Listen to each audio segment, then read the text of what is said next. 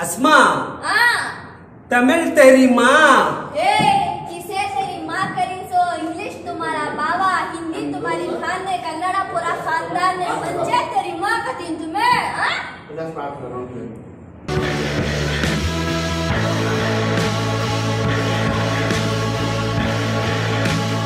Yeah.